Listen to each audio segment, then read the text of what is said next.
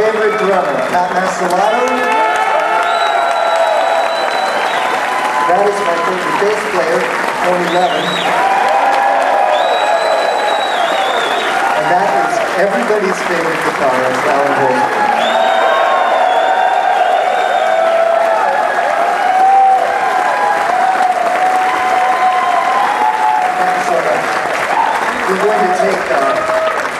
We're going to take a short intermission uh, and then come back and play some more for you. But uh, I just wanted to tell you before we go, for those of you who don't understand or uh, may not get this, uh, what we're doing is we have no music prepared. We're just improvising. What we, what we call this is spontaneous improvisation.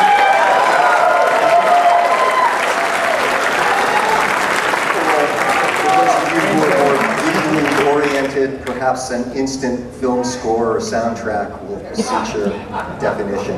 But at any rate, um, you know, with, with great freedom comes great responsibility. And, these guys,